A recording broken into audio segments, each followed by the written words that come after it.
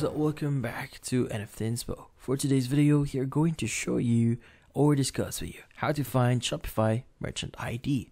So if you're interested, let's start the tutorial. In this case, you might be wondering where do you get your merchant ID on Shopify? So we'll be discussing how to exactly see it and if it's actually possible. So first things first, go to shopify.com, log in into your account and access your admin page here.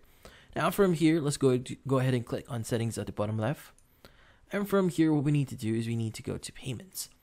Now, in the payment section, you should be able to see all the available payments on your Shopify store, which in this case, uh, usually merchant IDs are actually uh, found in your uh, your uh, payment methods here.